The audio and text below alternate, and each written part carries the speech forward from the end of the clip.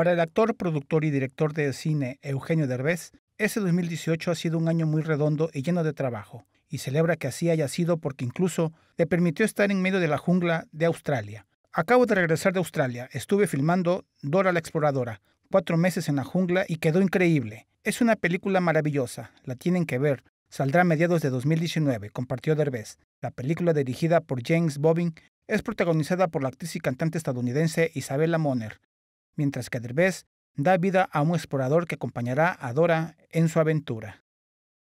Para Noticel.mx, Orlando Fernández.